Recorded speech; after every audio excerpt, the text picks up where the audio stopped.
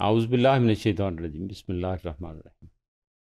Uh, hello viewers, uh, we are to talk about uh, uh, definitions of potential.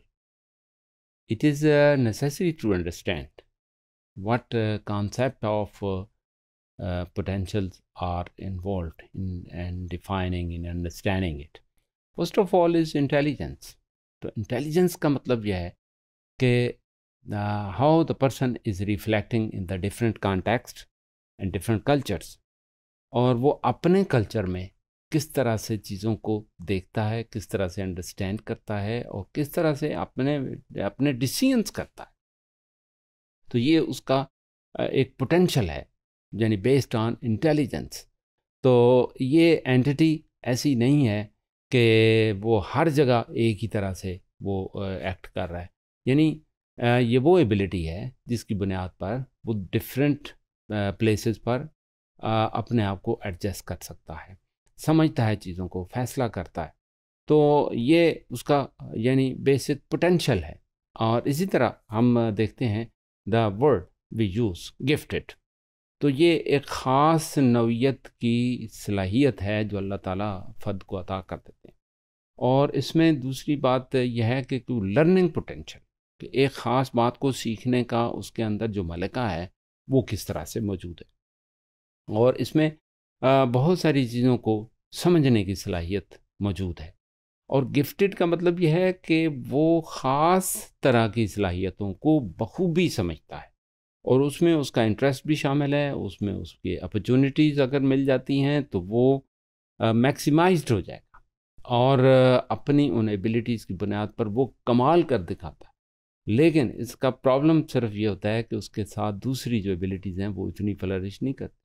वो कोई इस तरह का यानी तालब इलम नहीं होता जो बाकी जिस तरह से बाकी मैनरिज़म और इस तरह की चीज़ें उनमें कम होती हैं। लेकिन ख़ास तरह का जो पोटेंशल है वो गिफ्टेड में बदरजा उत्तम मौजूद होता है और उसको सिर्फ़ पहचानने की और फिर उसको प्रैक्टिस देने की और अपॉर्चुनिटी देने की ज़रूरत है। और it is related with the cognitive ability कि वो जहनी तौर पर उस चीज़ को समझ रहा होता है। यानी थाट प्रोसेस जो है ना that is working very effectively in particular area in which student are persons abilities are well related to cognitive thought process है, वो इसके साथ बहुत ज़्यादा ताल्लुक़ रखता है। और इसमें जो कॉग्नेटिव एबिलिटीज़ हैं, मसलन जैसे हम देखते हैं कि सोचने, सलाहियतें सलाहियतें रखने वाले जो लोग हैं, उनमें ये एबिलिटीज़ बदरजा उतम मौजूद होती हैं। मसलन उनको मौका मिलता है कि you think about you generate new things इसमें आप नए आइडियाज़ पैदा करें और इसमें और आपका क्या ख्याल है? तो जब हम इस तरह के मौाक़े उन लोगों को देते हैं तो उनके अंदर वो सोचने की सलाहियत बढ़ती है। और लेकिन हमारे यहाँ जो जो मरवजा तरीका है, कार हैं, बच्चों के लिए ख़ास तौर पर, हम उन्हें चीज़ें यानी बार बार याद करके तो उन्हीं पर हम रखते हैं। और अदर दैन दैट सोचने के लिए हम उन्हें कम मौका देते हैं। या तो उन्हें बहुत ज़्यादा मसरूफ़ रखते हैं कि वो चीज़ें रट के और सुना दें। और, इसके अलावा उनको रिलैक्सेशन फ्लैक्सिबिलिटी कम मिलती है, जिसकी वजह से उनकी ये कोगनेटिव एबिलिटी स्किल्स मुतासर होने का ख़तरा होता है। इसमें उसकी जो जनरल एबिलिटीज़ हैं कि वो अपने ज़ाती काम, बाकी काम, घर के काम और बाकी दोस्तों के अंदर उसका इंटरेक्शन किस तरह से है। वो वेल एडजस्टेड है, उसकी वो एबिलिटीज़ उसके बारे में उसकी सोच शामिल है कि क्या वो नई बातें वहाँ कर रहा है, क्या पॉजिटिव चीज़ों को समझता है, नुकसानात को समझता है और अपने आप को वो एडजस्ट करता है मुख्तलिफ़ तरह की सूरतों में।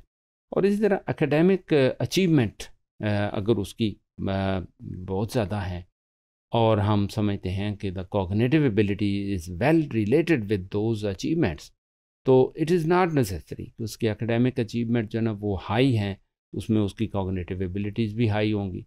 वो चूँकि हमारे यहाँ इसमें थोड़ा सा गैप ये है कि हम कॉग्नेटिव एबिलिटीज़ के लिए उसे टाइम या एक्टिविटीज़ कम देते हैं या उस तरह से उसको सोचने का मौका मिलता ही नहीं है। वो सिर्फ़ यह है कि अपनी एकेडमिक अचीवमेंट पर ज़ोर दे रहा होता है और वो चीज़ों को अल्फाज की बुनियाद पर अदा करने के का पाबंद होता है। तो इसमें इसको हम बहरल मैयर कर सकते हैं कि ये जो कॉग्नेटिव एबिलिटी है वो कितनी है। अचीवमेंट का तो हमें पता चल ही जाता है। तो ये एक स्टैंडर्डाइज टेस्ट हम इसके लिए इस्तेमाल कर सकते हैं। According to over culture and according to over scenario अपने नॉर्म्स के मुताबिक जो टेस्ट हैं, उसको इस्तेमाल करेंगे। That will be very useful to assess the cognitive abilities thank you very much for being with us